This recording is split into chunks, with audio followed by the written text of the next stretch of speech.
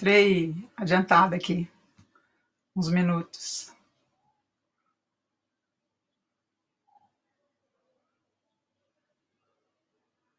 Oi. Acho que eu entrei aqui um pouquinho adiantada, alguns minutos. Três minutos. Vou esquentando aqui os motores. Também preciso saber se está tudo certo de áudio, está todo mundo me ouvindo, está bom o volume.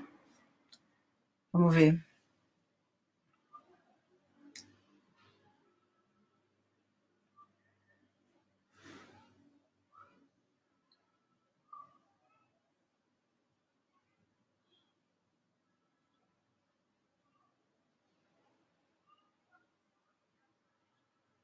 É, vou só esperar o organizador desse, desse acontecimento, o Emiliano, entrar.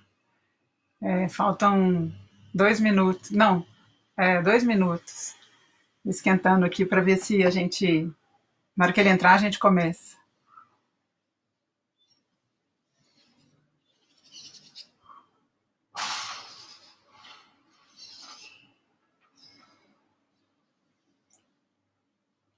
Então, espero que vocês estejam bem aí de quarentena.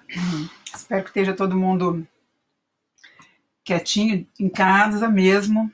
Mas é difícil, né? Porque eu já estou aqui no quinto dia e é complicado você pensar a perspectiva, quanto tempo a gente vai ficar, né? É, então, não sei. Por enquanto, estou achando, estou me sentindo nada aprisionada, assim. Ontem dei uma saída rápida só para ver ali o movimento da cidade enquanto eu fui comprar fruta. Voltei rapidinho e estou aqui um pouco tentando não ficar, não pirar muito na, nessa coisa do, da indeterminação, né? O que, que vai acontecer com a gente, quanto tempo vai durar. E também evitando ficar muito pilhada nessa conferência de notícia e ao mesmo tempo que você tem que dar combate para essa falta de governo. E aí vai. É... Pois então. Aí agora eu preciso saber. Deixa eu perguntar se tá bom de vídeo.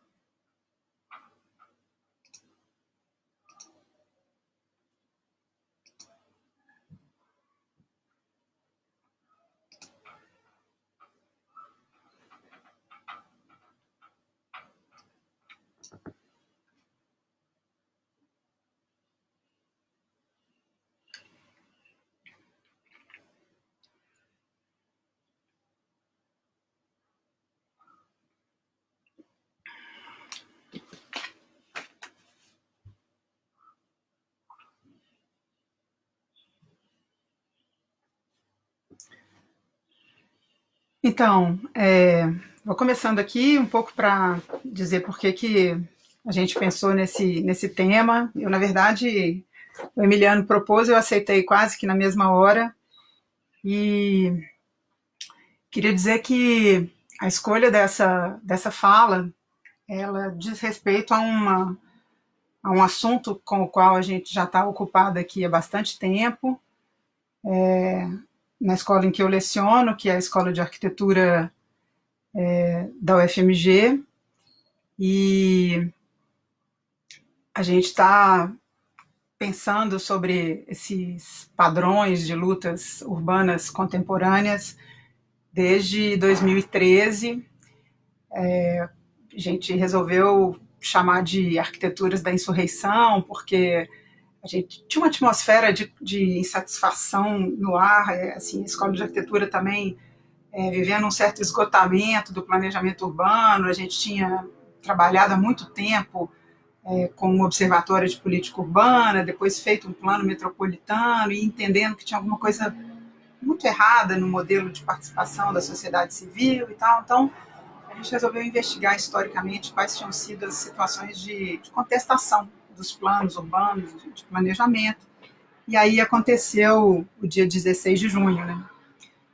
Daí a gente começou a fazer essa pesquisa que depois deu na organização de um grupo. Esse grupo se chama Cosmópolis e esse o Cosmópolis participou ativamente da organização de um movimento chamado Cidade que Queremos, depois se chamou Muitas, e o Muitas é, se filiou a um partido político para conseguiu eleger é, duas vereadoras, hoje tem um mandato coletivo chamado de Gabinetona, e desde então esse grupo de pesquisa está vinculado aos movimentos urbanos, a, essa, a esse mandato coletivo, são vários professores, vários estudantes, e Belo Horizonte tem uma situação bem particular, que é a questão das, das ocupações urbanas, que recentemente a gente até fez uma contagem, diz que é possível rastrear ocupações urbanas nas periferias e no centro há 10 anos em Belo Horizonte, né? Então é um pouco é, isso tem sido a, a, nossa prática de pesquisa, de militância, tudo junto, e também é, as nossas os nossos próprios, as nossas próprias participações né, nos, nos ativismos.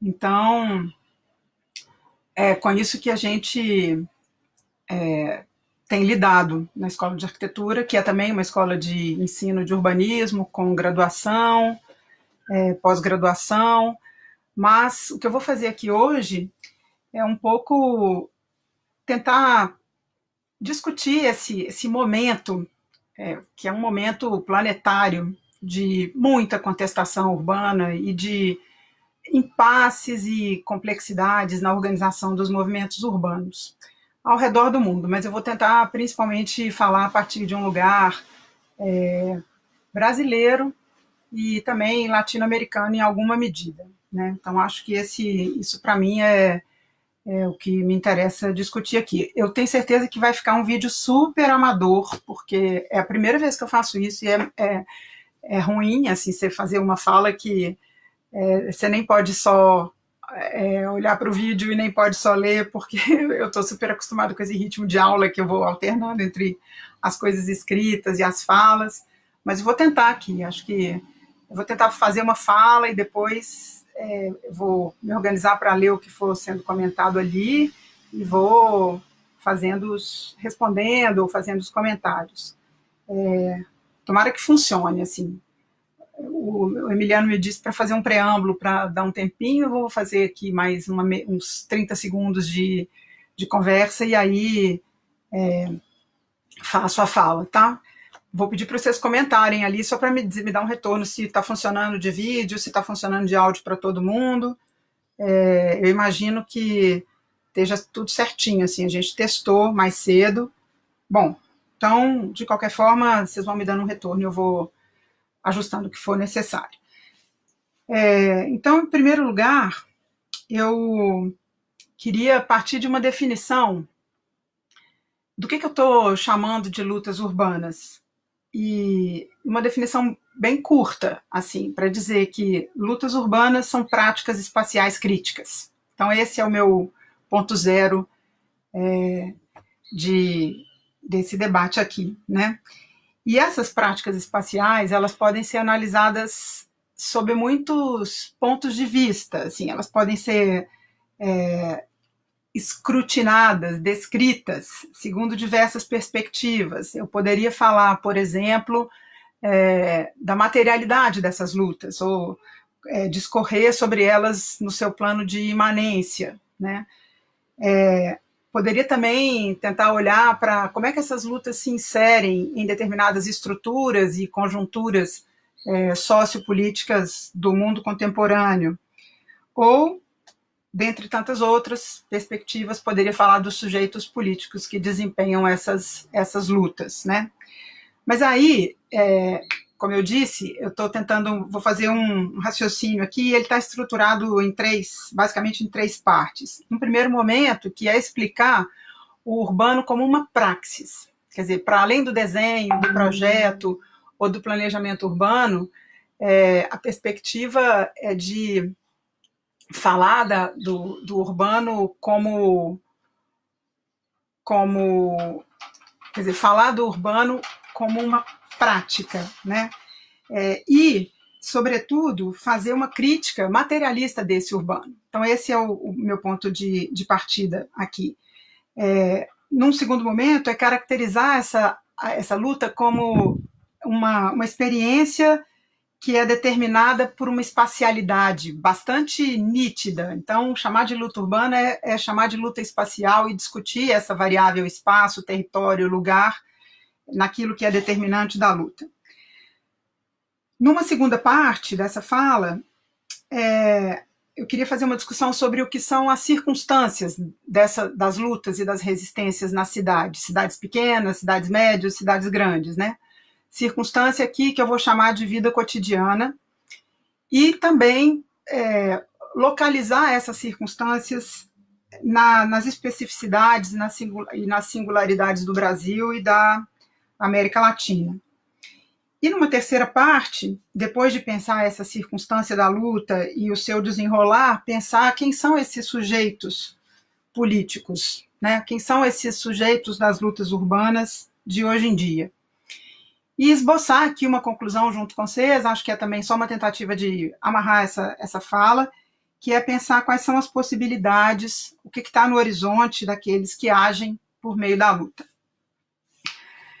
Então, para começar, é, o que está implícito numa ideia de urbano, ou num conceito de urbano, melhor dizendo, é, quando considerado a partir das lutas? Isso implica em pensar o urbano como uma praxis espacial, portanto, como uma prática, como uma, um, uma ação que tem uma duração, é, tanto do efêmero quanto da quanto a longa duração, mas é sobretudo pensar uma agência nos, nos lugares né, da, da vida urbana. Essa ideia do urbano, que a ser analisado nas lutas e a ser compreendido por meio de uma praxis espacial, ela não é nova, ela é uma ideia dos anos 70 e ela foi desenvolvida em primeiro lugar, talvez, pelo Henri Lefebvre, que é um, um, um filósofo francês. É, ele desenvolveu esse, esse argumento em, em dois livros, um livro denominado A Revolução Urbana e um segundo denominado A Produção do Espaço, ambos discutindo a ideia de uma, discutindo a tese de uma urbanização completa, de uma urbanização planetária, né? E o, a discussão é, central para o Lefebvre era de que a sociedade urbana já substituía, àquela altura, a sociedade industrial. Por isso é que a gente pode falar de uma revolução urbana, porque tem uma transformação no modo de vida, dadas as condições é, dos lugares urbanos nos, nas quais as pessoas estavam é, inseridas já na década de 70. Também na produção do espaço, na revolução urbana, é, tem uma tese do Lefebvre que, tá, que aguarda aí uma, uma demonstração é, melhor, mas que é contundente e que eu acho que vale a pena é, ressaltar aqui para ajudar também a entender como é que a gente faz essa transposição aí do urbano é, para a luta e do urbano para a filosofia, né? É, segundo ele, o problema do urbano renova a filosofia, renova as categorias e os métodos da reflexão filosófica, sem que essas sejam rompidas ou rejeitadas, mas de modo a que essas categorias passam a receber um novo sentido, né, um algo novo, por assim dizer. Esse urbano de que fala Henri Lefebvre, ele é vivido em muitos níveis. Ele é vivido em termos de explosão e implosão. E sempre a partir do cotidiano. Então, é, a partir da sua vizinhança, a partir do seu bairro, do centro da sua cidade, as margens da sua cidade, aquilo que delimita e caracteriza a região na qual você está inserido, né, o seu país, o planeta. Então, é, é essa transversalidade de escalas, é esse, essa multi-escalaridade é, que nos atravessa, a simultaneidade desses vários níveis que estão presentes na vida cotidiana, né, é, que fazem então os territórios vividos e ou imaginados na cidade. É, quando se fala de implosão, fala-se de concentração, de adensamento, de condensação, não mais em termos de números de população ou de densidade demográfica, né? Fala-se, fala-se ao contrário, de um adensamento de modos de, de, de desempenhar essa vida. E quando se fala de explosão, a gente fala de uma fragmentação do, do urbano. Então, a cidade ela não é uma continuidade, né? Como ela nasceu lá no século XIX, com limites estritos e com caminhos demarcados. É, a sociedade é uma projeção, a sociedade urbana é uma projeção de fragmentos num determinado é, espaço, né? São os vazios, são as margens, as redes, são as periferias, as cidades satélites. Então, é, é, é um tecido urbano, né? É uma conexão, é uma montagem de fragmentos, melhor dizendo. E a sociedade que vive esse tempo do tecido urbano é o resultado de um processo histórico contraditório, repleto de conflitos e de lutas. Assim, nos, seguindo aqui o argumento do Lefebvre, que deixa de fazer sentido analisar a sociedade é, urbana em termos de formas, ou mesmo em termos do conceito oitocentista, ou do conceito é, do início do século XX de cidade, né? É preciso pensar os processos de transformação da vida nos lugares urbanos, independentemente do tamanho, da configuração ou da morfologia. É preciso pensar a sociedade urbana em termos dos fluxos das pessoas, e não em números de pessoas, né? Mas das mudanças, da proliferação. Deixou de ser possível falar de alguma coisa, de um organismo, de certa forma simples, né? É, como era uma cidade fechada em si mesma. O que a gente tem então é esse tecido, esse essa costura de muitos pedaços, né? E para pensar esses pedaços, é preciso dar conta dos processos, não mais das formas urbanas. Então, é uma transformação radical para a teoria urbana, para o ensino de arquitetura e de urbanismo, quando você deixa de falar de desenho, quando você deixa de falar de projeto e passa é, e deixa de falar, sobretudo, de planejamento urbano, né? E passa é, a falar de, de uma espécie de expectativas a partir dos movimentos das pessoas, da vida, do desempenho da vida das pessoas num determinado lugar, né? É, essa mudança, o Lefebvre é, elabora a partir de um método que ele chama de regressivo progressivo, onde ele diz, no, método no qual ele diz que é preciso projetar aquilo que existe no futuro para iluminar o passado. Então isso não é novidade, né? Isso é, por exemplo, uma concepção central nas teses sobre a história de um, de um outro filósofo europeu que é Walter Benjamin, né? Lá na obra das passagens. Mas especificamente na questão urbana, o Lefebvre avança um pouquinho para dizer que é preciso analisar o existente e compreender a sua potência futura. E ele tem uma frase que é, a meu ver, lapidária, onde, onde ele diz que a urbanização, ou seja, a efetivação, da, a efetiva ocupação de um território urbano, a urbanização carrega consigo essa energia projetiva. Dado isso, como pensar então o urbano, né? Como uma totalidade de produção somada à reprodução, mas numa soma que é incongruente, uma soma que nunca é completa, que deixa resíduos, que deixa restos o tempo todo, né? Que está cheia de contradições, cheia de complexidades ainda mal conhecidas.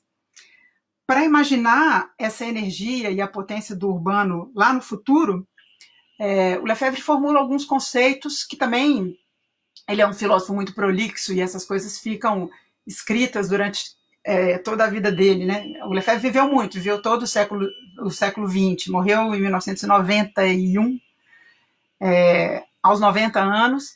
E então para ele era essa essa ideia da imaginação do urbano futuro deveria vir a partir de uma formulação sobre o conceito de diferença, de centralidade, do direito à cidade, de pensar as utopias concretas que se, que se realizariam nessa, nessa vida urbana.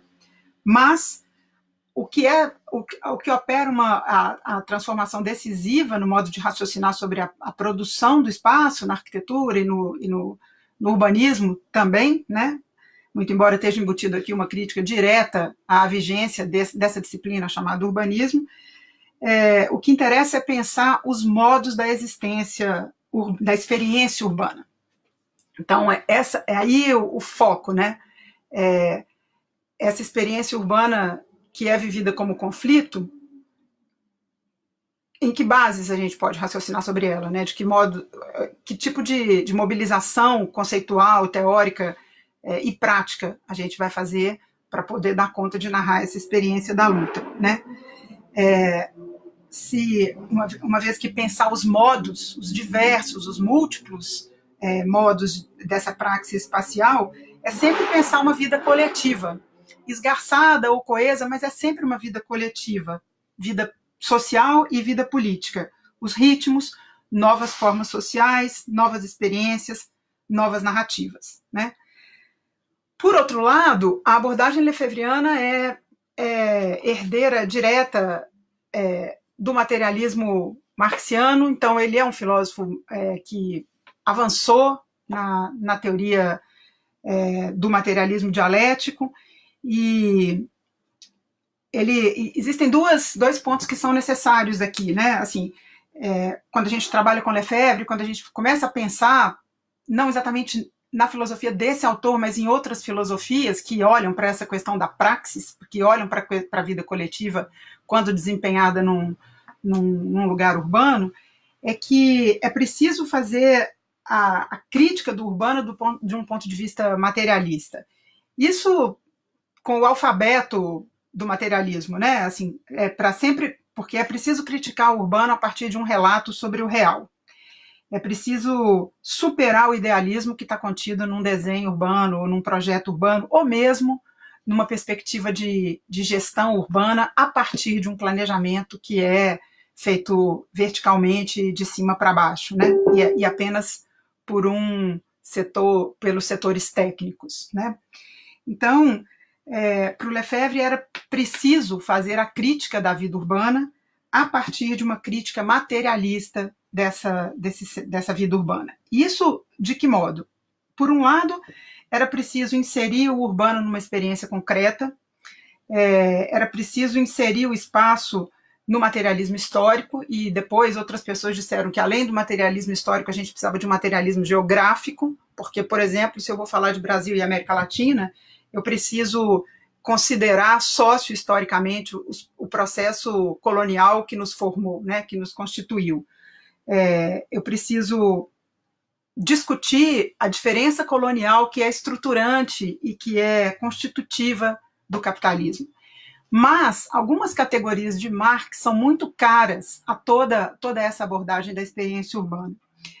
É, quando ele escreveu em 61 o, o materialismo dialético, é, ele disse que ele estava recuperando ou que ele queria dar prosseguimento aos alguns conceitos é, é, marxianos que eram alienação, praxis, totalidade social e é, dizer que essas estabelecer ou discutir a vigência atual, né, aquela altura, nos anos 60, dessas categorias é, teóricas que estavam repletas de, de uma carga política, né? E aí vou ler uma citação dele aqui só para a gente ficar, para a gente entender aqui o caso, né? Como é que eu vou chegar com isso lá na, na questão das lutas. Ele diz assim, abre aspas, a praxis é o ponto de chegada e o ponto de partida do materialismo dialético.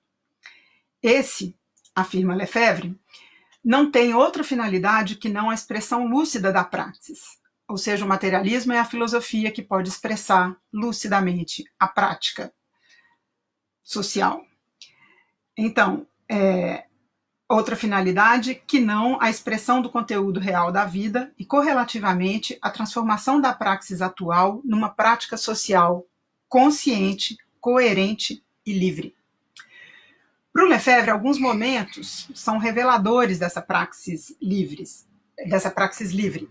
E é, é importante que todos esses momentos é, são retirados dele da tradição por ele da tradição revolucionária e são momentos de vida urbana. A Comuna de 1871, a Rússia de 1917 e maio de 1968 na Europa.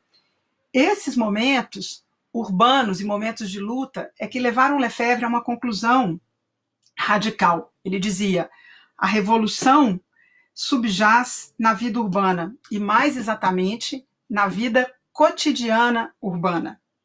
Então ele escreve, de novo, abre aspas. O que queria Karl Marx? Marx queria mudar a vida cotidiana, porque mudar o mundo é sobretudo mudar o modo pelo que cotidianamente se vive a vida real.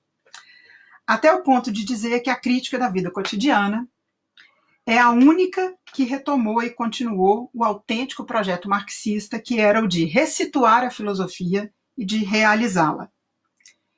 Então, é, aqui a âncora, a principal âncora da, da filosofia lefebvre, lefebvriana para mim, que é a de fazer uma crítica radical orientada a alcançar a metamorfose da vida cotidiana.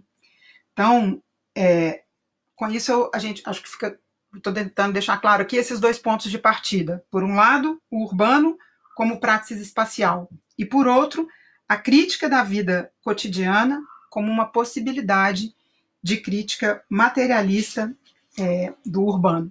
Então, esses são os dois pontos, é, talvez, mais caros a mim aqui nessa argumentação. Uma, uma outra questão que também me parece importante, se a gente vai desenvolver esse argumento sobre é, falar da vida urbana a partir das lutas, a partir dessas, é, desse uso disruptivo do espaço, né? É, e uso disruptivo da lógica do capital, né? Se eu vou descrever a, a vida urbana, a vida cotidiana urbana, a partir desse uso do espaço que é disruptivo da lógica capitalista, é preciso, então, falar, é, tentar delimitar aqui de que, de que uso falo aqui, né? É, de que experiência.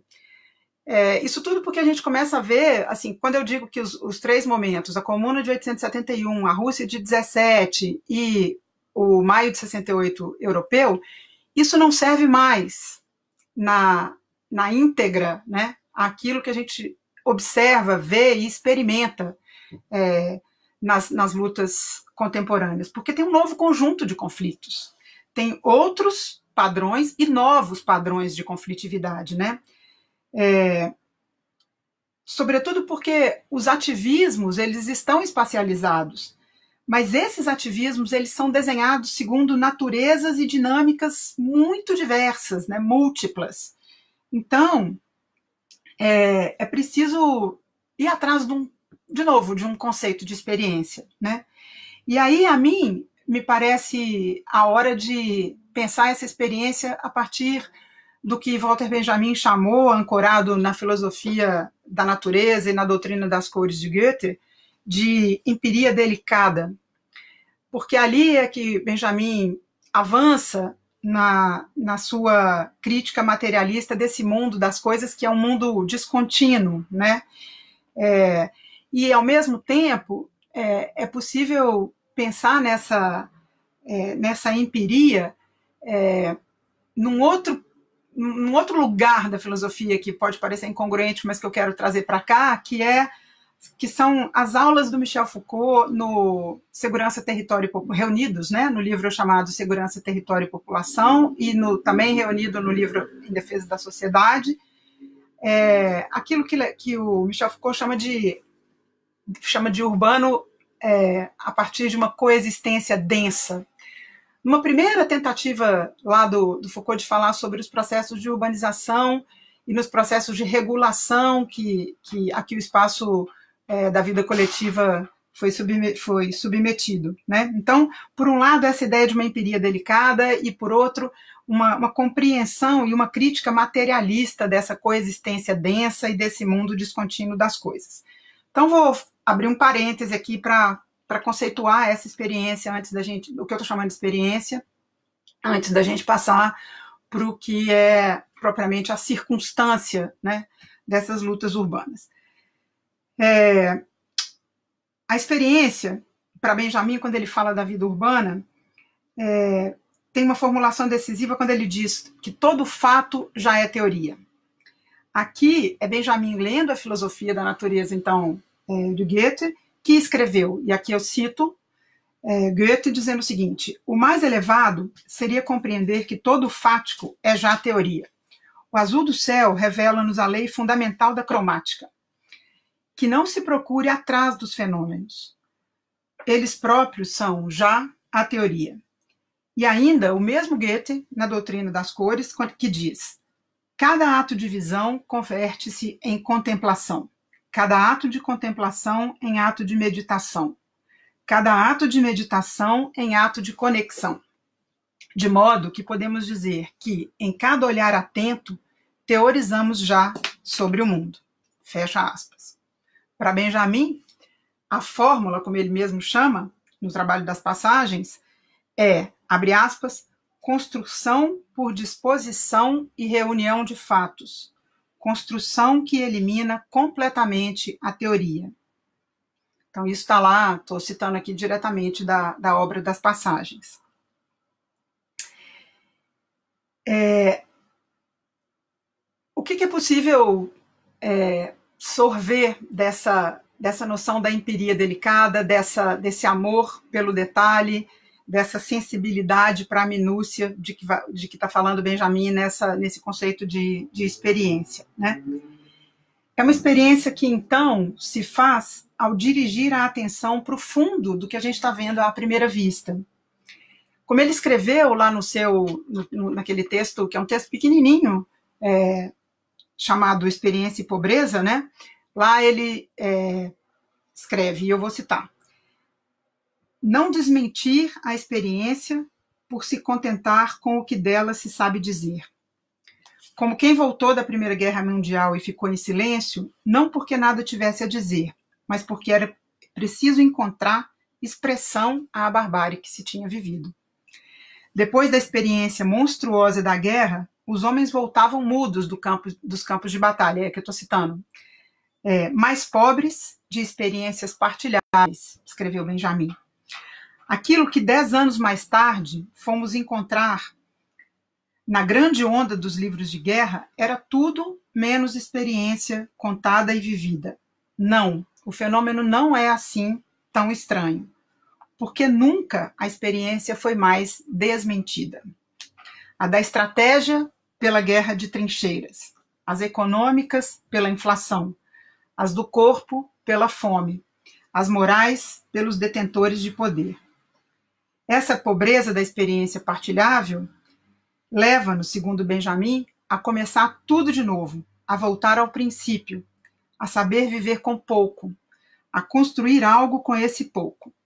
A guerra fez dos antigos a guerra fez dos antigos homens novas criaturas, e essas criaturas já falam uma língua completamente nova. É a experiência da guerra que transformou completamente as pessoas, né? Pobreza de experiência, é, diz Benjamin. E essa expressão para ele não significava que as pessoas sentissem algo como uma nostalgia de uma nova experiência. Ele escreve: não, o que as pessoas anseiam é libertar-se das experiências anseiam por um mundo em que possam afirmar de forma tão pura e clara a sua pobreza, a exterior e também a interior, que daí nasça alguma coisa que se veja.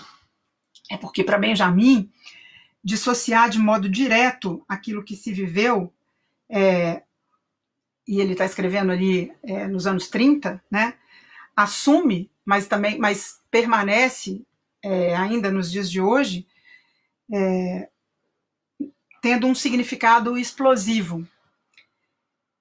É aí que se e esse significado ele se constrói quando essa quando se dirige a atenção àquilo que aparentemente não tem importância, aos dejetos, aos resíduos, né? As, aos vestígios. Esse é o materialismo particular de Walter Benjamin, capaz de realizar por meio dessa empiria delicada a crítica do mundo cotidiano e descontínuo das coisas, né?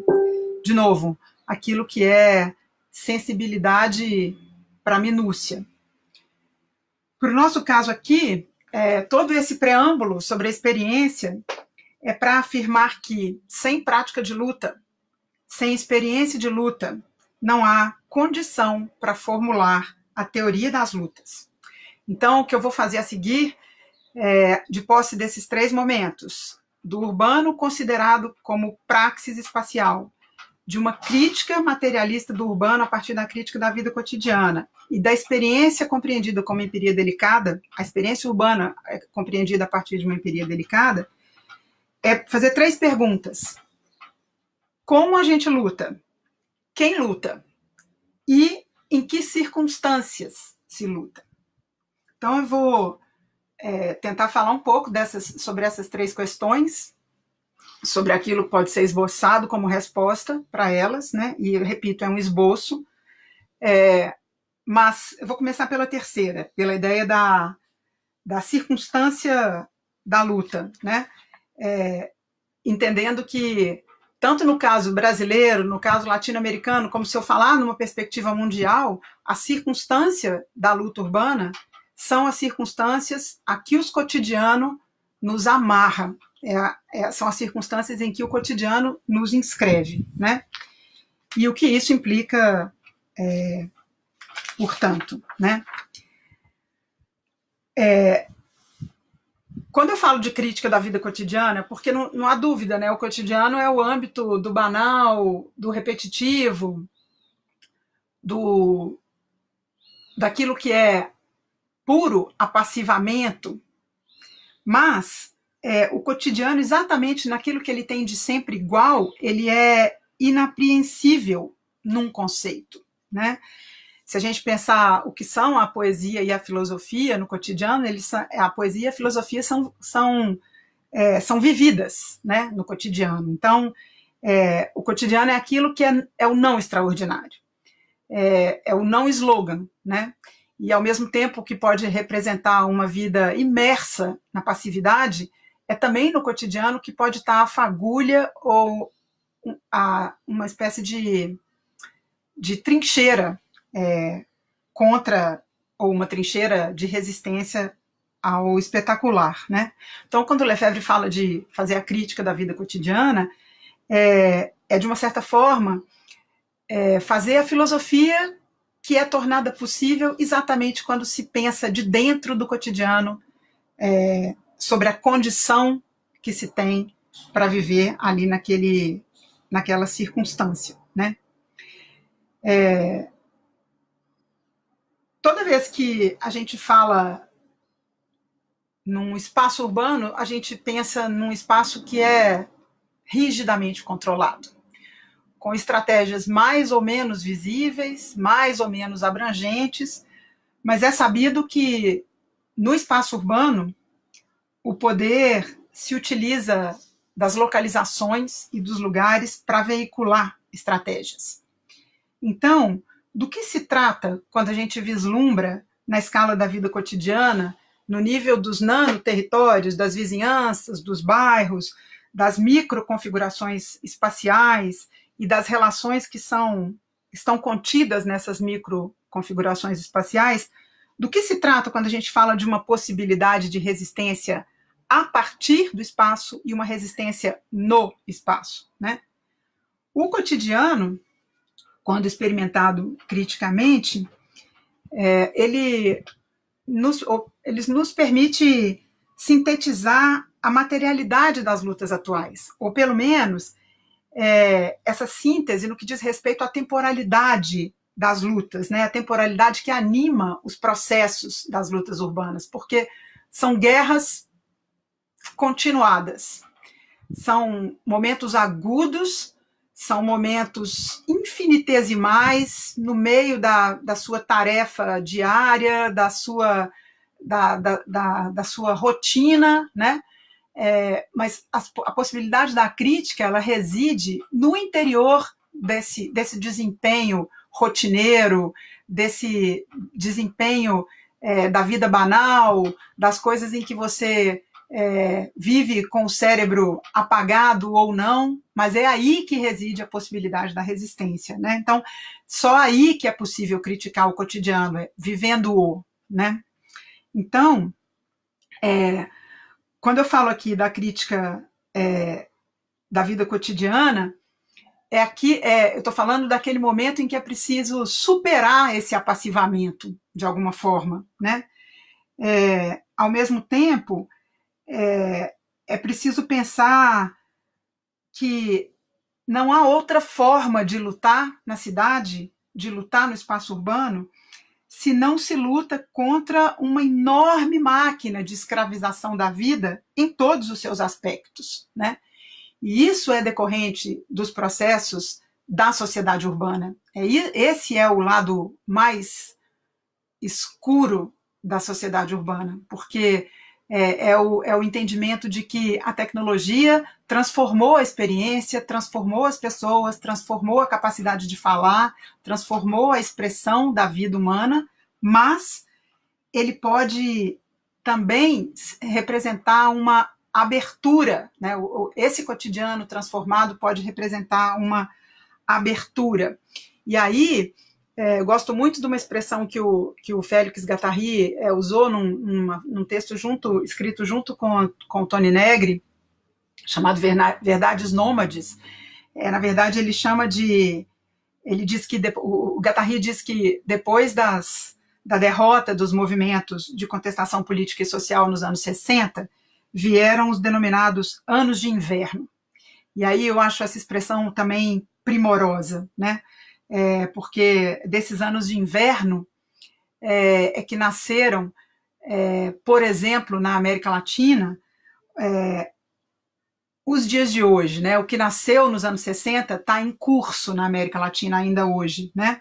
Porque ali nasceram formas de vida coletiva, comunitária, vidas nas periferias que se converteram em formas de luta. Não estou falando do sucesso dessas lutas, eu estou falando de uma condição é, urbana que é condição de lutar, é um aprendizado da luta que se deu nas periferias das grandes cidades, é, nas, nas, periferias pobres da, da América Latina e no Brasil. Por que isso, depois dos anos 60? Porque é quando se dão os processos massivos de urbanização é, nesses países, né? E aí a gente vai, quanto mais a gente lê sobre esses momentos de luta na América Latina, a gente percebe que são os afetos que organizaram os bairros nos complexos de favelas, nas vizinhanças, né? E que revolucionário, é, no nosso caso, revolucionário nas inúmeras experiências de luta é, latino-americana, é exatamente aquilo que se incorporou ao dia a dia. São os trabalhos coletivos, a liberdade que não é conquistada às custas de outras pessoas, mas que é uma prática livre compartilhada, né? E é isso que está depois é, da denominação de cidade formal, cidade informal, cidade legal, cidade ilegal. Isso é penetrar profundamente no fato.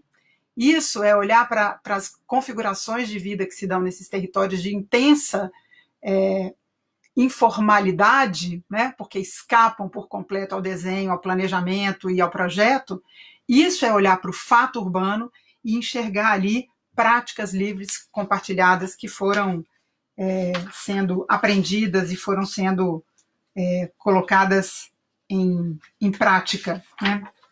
E aí, é, esses anos de inverno, como chamou o, Gattari, eles dizem respeito a uma espécie de reorganização desses processos de luta, né? É, na verdade, de novo, né? Se eu, eu afirmo que toda luta urbana é um uso do espaço que é disruptivo da, luta, da lógica do capital, que uso disruptivo é esse que coube a esses anos de inverno?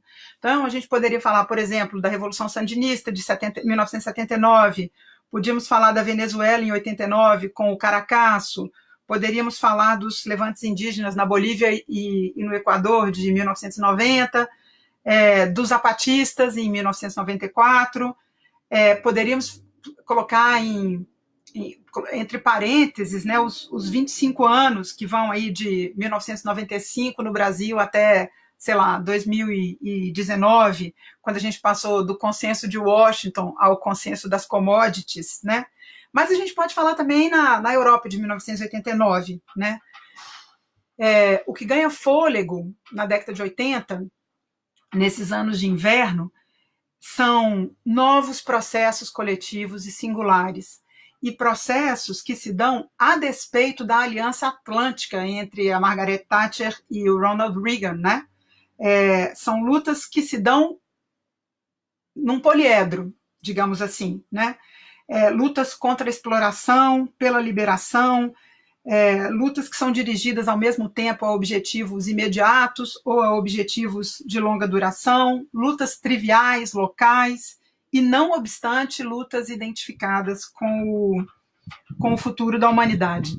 De uma certa forma, são lutas que aprenderam a, a se revoltar contra a apropriação indébita daquela riqueza que é gerada pelo trabalho, lutas é, contra a precarização do trabalho, os ritmos de exploração e centralização das burocracias infinitas, né?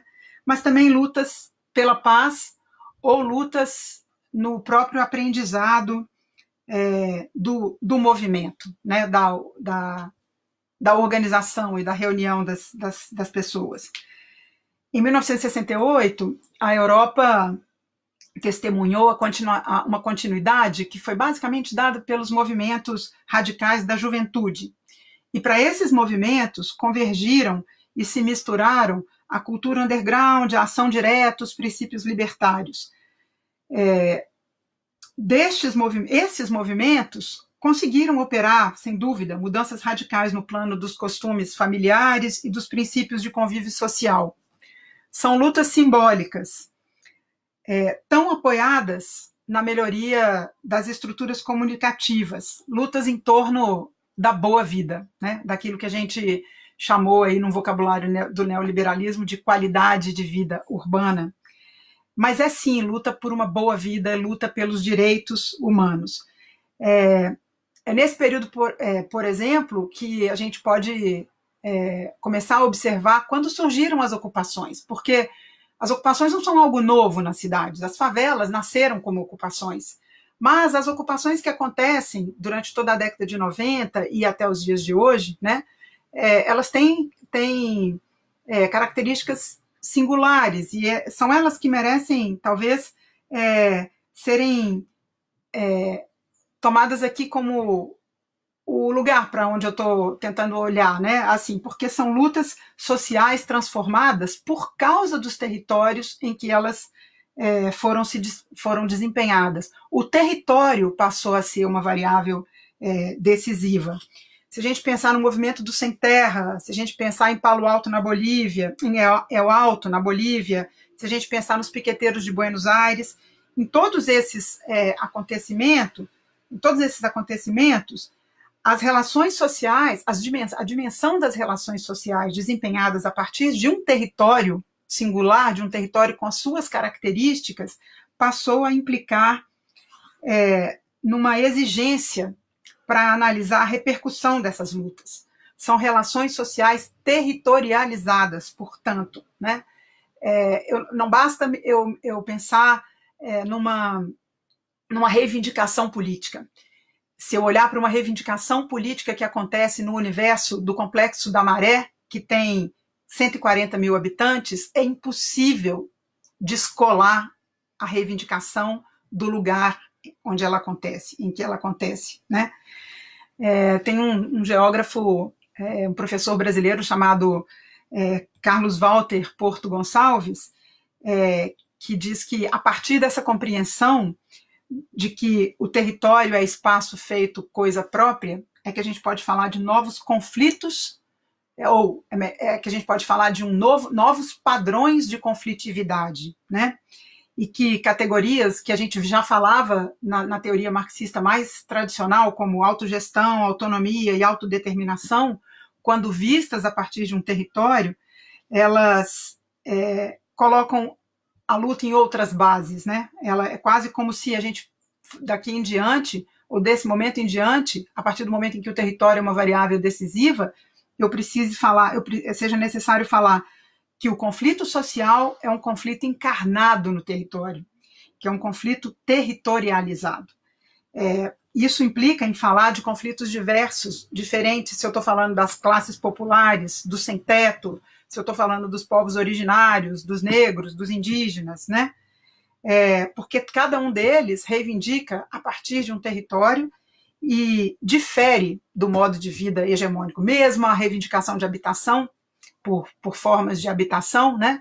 reivindicações é, por terra, se dão para fora dos modos de vida hegemônicos. Então, por isso é que o território, a apropriação, que significa modo de viver, é, implica. Né? Então, é, nesses novos, o decisivo nesses novos padrões de luta desempenhados nos lugares urbanos e nos lugares cotidianos da vida urbana, é que moradores criando condições para ampliar o seu campo de ação tensionam e esgarçam o poder político e econômico do capital quando ele pretende controlar os sujeitos políticos e os habitantes. Então, é, em síntese, as características de cada lugar são decisivas. A organização territorial desses lugares são armas para as lutas políticas. E isso também não é uma afirmação é, que um ou outro autor tenha feito, né? De David Harvey, Eduardo Soja, próprio Henri Lefebvre, é, Raul Zibek, é, Marcelo Lopes de Souza, muita gente no Brasil e na América Latina dando conta disso, né?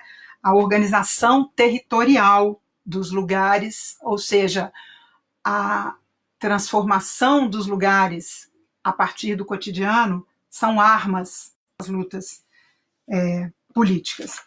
Isso, olhando para o Brasil, é, eu gosto muito de um livro também de um professor italiano que é radicado no, no, no Brasil, é um professor para lá de polêmico chamado Giuseppe Coco, mas o Coco tem um livro primoroso chamado Mundo Brás, e é um esforço muito bem sucedido e muito consistente de pensar é, o que ele chama de o devir Brasil do mundo e o devir mundo do Brasil. Ele está discutindo isso num processo, a questão da, da globalização, é, tal como ela aconteceu no Brasil.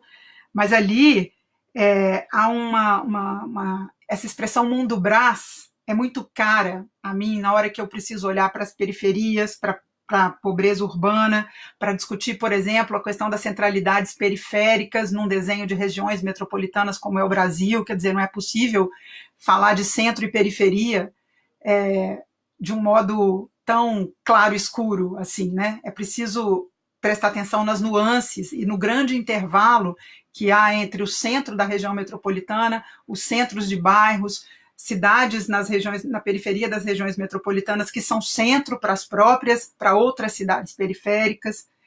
É, sempre no Brasil em torno de, de uma pauta tripla que não é, não é nada simples, que é a pauta da terra, da habitação e do trabalho, né? Mas que isso não se reduza ao consumo de um determinado objeto, não se reduza à pauta da obtenção da casa própria, ou não se reduz à luta sindical. Isso tem, isso está fragmentado em inúmeras é, experiências vividas aí no, no anonimato de, de todo dia, né? Quer dizer, se a gente quiser colocar em uma grande teoria, é aqui, por exemplo, é, que a gente precisa pensar o colonialismo e a colonialidade, né?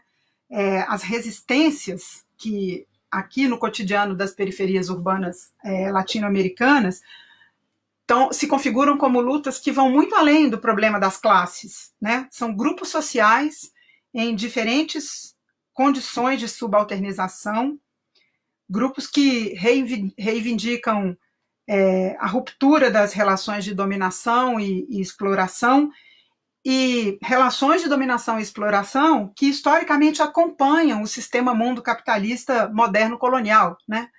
Então, é, não se pode falar de resistência e de lutas urbanas sem é, sobrepor esse, esse imenso, essa imensa retícula que é a do, a do colonialismo. Né? Então, é, isso é, é, é, isso nos lega uma tarefa gigantesca que é a de fazer o esforço é, do conceito de pensar é, o esforço do conceito desse, dessa subjetividade, né? Desse pensar sobre quem age e como age, como há, quando há revolta numa mega cidade da América Latina ou numa mega cidade é, no Brasil. Na arquitetura, a gente tem por método pensar a ação, porque os arquitetos intervêm nos lugares, né? intervêm nos espaços. É, e enquanto que na filosofia, talvez a gente deva fazer esse esforço de entender, de dizer quem desempenha essa ação, né? É, uma constelação aí pode reunir os corpos individual e coletivo sob as formas de sujeição, sob as formas de controle que demarcam a vida urbana atual, né? É, se a gente for tentar é, falar desses sujeitos da luta urbana atual, a meu ver, é quase que impossível não, não é, é, estabelecer um diálogo com os escritos de Michel Foucault, é, porque do mesmo jeito que tem uma constelação que reúne esses corpos individual e coletivo, né, para falar de cidade, para falar de lutas urbanas, é preciso pensar a constelação da biopolítica. Nessa constelação da biopolítica estão lá as formas de insurgência, os modos da contraconduta, os modos de governamentalidade, né? Se a gente entender que biopolítica tanto designa uma tipologia do poder como uma, uma política de resistência, né? E se a gente entender que é, o corpo, o individual ou o coletivo, ele diz sobre o governo de si que reage e se insurge contra o governo dos outros. Então, é, a insurgência, a luta urbana, ela é reação a um controle. E isso é muito importante é, quando a gente pensa na, na, ideia Foucaultiana da governamentalidade. Né?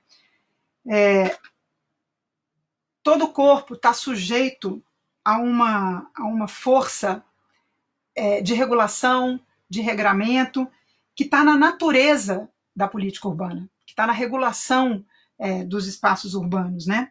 E aí o corpo contra a essa suje, contra essa sujeição a que o urbano o submete na vida cotidiana instala uma contraconduta. Então é nesse sentido que é, eu preciso trazer a filosofia é, Foucaultiana para essa conversa, né? Porque assim, porque desse modo a insurgência, que é uma ação, uma luta, contestação, uma revolta, um levante, um conflito, né? Essa, essa luta, ela configura uma experiência do corpo. E é sempre dessa luta que um corpo sai transformado, mesmo que seja para contar uma história de escombros. O momento dessa ação, o momento desse levante, o acontecimento da revolta, é o ponto entre o não histórico e o histórico. Por outro lado, a biopolítica diz respeito a esse governo de si é, em reação aos poderes é, estabelecidos sobre os corpos, né? Então, é, é a reação aos poderes, né? Esse reagir com a, com a contraconduta à governamentalidade. Esse é o enfrentamento possível é, do biopoder. É, eu estou só literalmente pensando alto aqui, né? É assim, mais ou menos como se a gente pudesse dizer o seguinte: a ação da revolta ela permite é, uma, gene, uma, uma genealogia do poder, né? É, que se vale daquilo que, por exemplo, Benjamin chamou da história dos vencidos, né? É, isto é, quando a história, nesse caso a história urbana, ela é o arquivo dos destroços, né? Então, é, lá no Em Defesa da Sociedade, Foucault vai dizer explicitamente, né? A luta é o motor do exercício do poder político. E é o mesmo Michel Foucault que afirma: onde há poder, há sempre resistência, sempre sendo um coextensivo ao outro. Então, essa resistência urbana, é, enquanto um acontecimento num, num espaço, ela coloca palavras sem um centro, ela põe uma expressão que não tem um centro, né? É, a subjetividade que se produz é versus a sujeição, né? É a capacidade de criar novos arranjos no caso do urbano, é a capacidade de, se agrupar, de se é, reunir numa coletividade, é a capacidade de criar novos arranjos dentro do sistema de equipamentos coletivos que caracteriza uma cidade. Então, é, nesse sentido, é, uma, é um arranjo de pessoas, é, é um arranjo de indivíduos numa coletividade para contestar outros arranjos que são institucionais, né, para contestar a institucionalidade, se a gente pensar no que são as políticas urbanas, no que são os, os governos, a polícia no controle dos espaços, por exemplo, né. Então, é, é preciso pensar que as lutas promovem é, novas formas de subjetividade. E, e o que essas novas subjetividades recusam é um tipo de individualidade que nos vem sendo imposto há séculos. E aí, como, como Foucault fala lá na nas entrevistas que ele concedeu, é, e que recentemente estão até traduzidas num livrinho é, da N-1 chamado Enigma da Revolta, Foucault diz lá, talvez o objetivo, eu estou citando, abre aspas, talvez o objetivo de hoje em dia seja não descobrir o que somos, mas recusar o que somos. Recusar a investigação administrativa e científica que venha determinar quem somos nós. O problema ético, político, social e filosófico dos nossos dias não é tentar libertar o indivíduo do Estado, nem das instituições do Estado, nem da institucionalidade estatal. Porém, é nos libertarmos tanto do Estado quanto do tipo de individualização que a ele se liga. O que Michel, Foucault está tentando é, nesses escritos sobre o urbano, que são, que são possíveis de se depreender do, do segurança, território e população, em defesa da sociedade, mesmo no nascimento da biopolítica, e também nessas entrevistas reunidas nesse livrinho chamado Enigma da, da Revolta, é, o que ele está tentando é uma tipologia dessas lutas se é que se pode chamar de tipologia, mas vou chamar aqui. É uma tipologia dessas lutas antagônicas ao poder. Essas lutas que não são nem a favor nem contra o indivíduo, mas que são batalhas contra o governo de individualização que está tão presente nas políticas de regulação urbana. Né? Na cidade, o poder se exerce por meio de uma estratégia espacial, o poder é veiculado por meio de estratégias espaciais, né? O poder se exerce por meio de uma razão governamental, que é uma complexa combinação de técnicas de individualização e procedimentos totalizantes. Governo é conduzir condutas. A governamentalidade é um acontecimento. E não é que o governo oprima as subjetividades, mas é que esses governos nas cidades inventam e promovem tecnologias de si que podem ser integradas nas estruturas de poder. Então, os sujeitos passam a ser submetidos, ao mesmo tempo, à maneira como o poder é exercido e à capacidade do governo de si. Então, a subjetividade, que é contra a conduta, é conduzir-se juntos de forma diferente.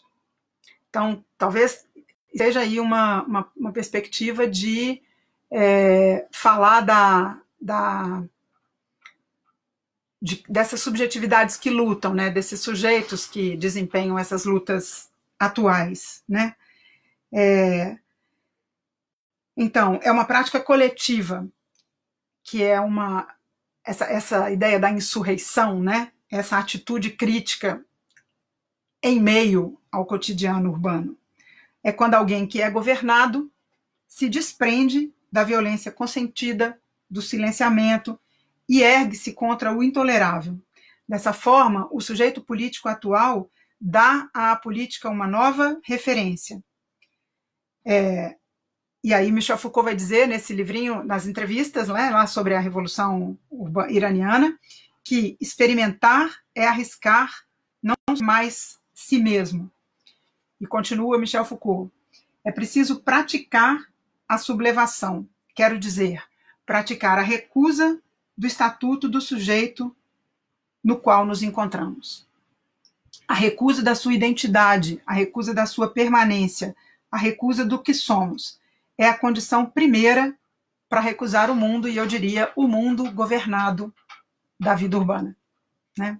O mundo, o cotidiano é, urbano governado. Então, é, para já ir caminhando aqui para uma conclusão, eu poderia afirmar que toda vez que a gente essas subjetividades em luta, é, quem protesta no interior de uma, de uma coletividade é, antagônica configura uma força. É uma intensificação e um aprofundamento do político. E aí a gente pode falar sobre quem são os trabalhadores urbanos, né?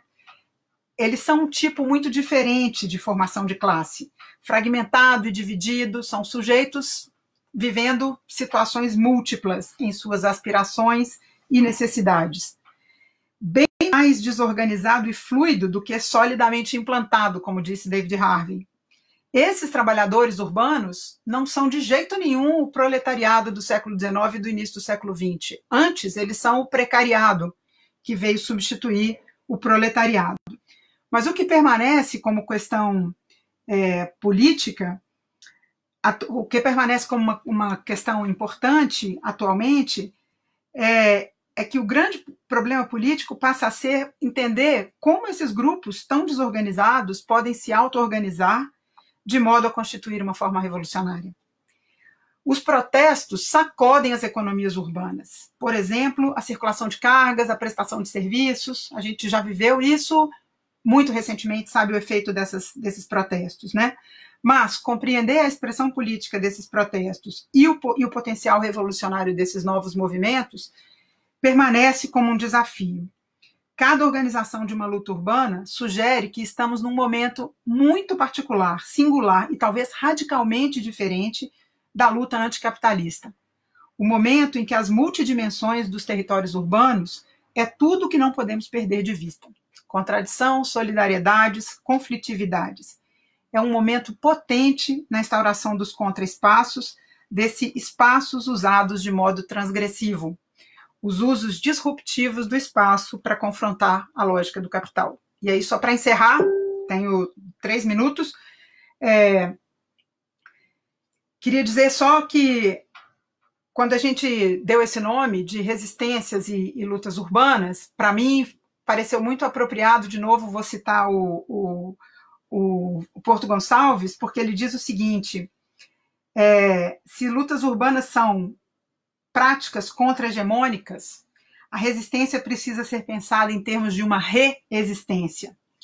Isso porque formas implícitas de resistência que devem a cada vez mais serem explicitadas. A política coletiva sempre que se constrói na rua, Trata-se de manter a autonomia e a emancipação como horizonte e não interessa exatamente o que ou qual seja a possibilidade de realização. Trata-se de estar em resistência e não apenas num movimento de resistência. Mais que resistência, e eu concordo com o que diz o professor Porto Gonçalves, o que se tem é reexistência. E aí eu vou terminar com uma citação dele em que ele diz: o que se tem é reexistência, abre aspas, posto que não se reage simplesmente a uma ação alheia, mas sim que algo pré-existe e é a partir dessa existência que se resiste. Acabei. Tomara que tenha funcionado e que tenha ficado é, nítido essa, todo esse esforço aqui de fala e que o áudio e vídeo tenham funcionado. Eu vou olhar os comentários só agora e aí vou responder aqui é, se eu der conta, mas de qualquer jeito, muito obrigado pela audiência e vivam bem essa, essa quarentena. Força para todo mundo, para todos.